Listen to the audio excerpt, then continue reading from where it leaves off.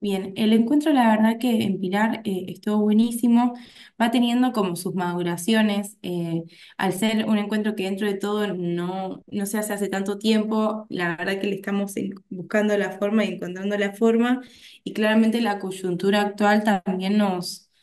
eh, nos atravesó desde el momento a organizar hasta después en el, en el desarrollo del encuentro, ¿no? Estando con, un gobierno de derecha que, que todo el tiempo que, que vapulea o cerró eh, organismos como el INADI, que son grandes aliados de, nuestra lucha y, de nuestras banderas, ¿no? Eh, entonces, eh, la mayoría, fue un gran desafío el encuentro de este año, en comparación tal vez al año pasado, que, que veníamos de una organización con una estructura muy grande y nos encontramos con una estructura un poco más chiquita eh, por la precarización de la vida en general de, de- de las personas que, que activamos y militamos, ¿no? Como que hay una cuestión eh, en donde, eh, en un contexto de, de urgencia económica como en la que estamos, que, que todos nos terminan a- atravesando y que nos deja cada vez con menos tiempo eh, para poder eh,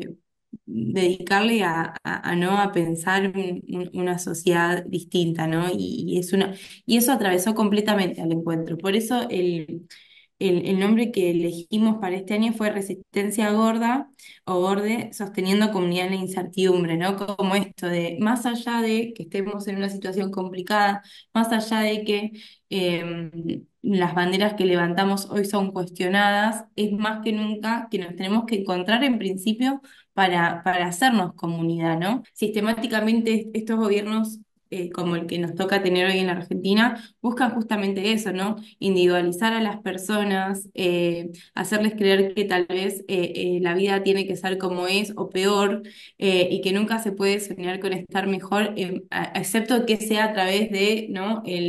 la meritocracia, ¿no? Que más nos importa que quede claro es que no, no, por el simple hecho de ser gordo uno no es enfermo, como también por el simple hecho de ser delgado uno no es sano. Y que en todo caso lo que tenemos que discutir es como a qué alimentos estamos accediendo, a qué estilo de vida estamos eh, accediendo la mayoría de las personas en nuestro país, eh, qué posibilidades tenemos y no frente a la elección de lo que comemos y lo que no comemos, o al tiempo libre, que era lo que veníamos hablando, ¿no? O al, eh, hace, al principio de la conversación, ¿no? En una sociedad donde cada vez tenemos más precarizada la vida, lo que se consideran los buenos hábitos y es dormir X cantidad de horas, tener eh, las, necesidades cubiertas básicas, y estamos hablando de una población que tiene, que estamos el 60% bajo la pobreza. Entonces, digamos, eh, no nos podemos, no nos pueden hacer responsables a las personas de no cumplir con ese ideal de cuerpo y belleza cuando está comprobado que en su mayoría de las personas no son así, bajo el pretexto de que eh, estamos poniendo en riesgo nuestra salud cuando la vida en general está constantemente en riesgo.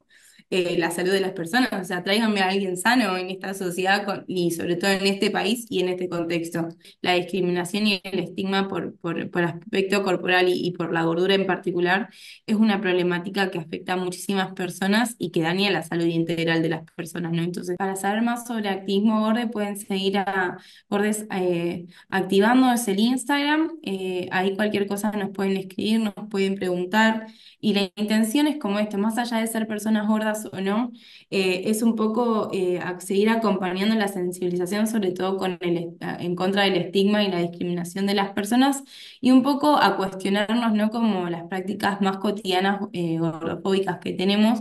eh, y, y de cuestionar un poco, ¿no? Este estereotipo y este modelo único de cuerpo que,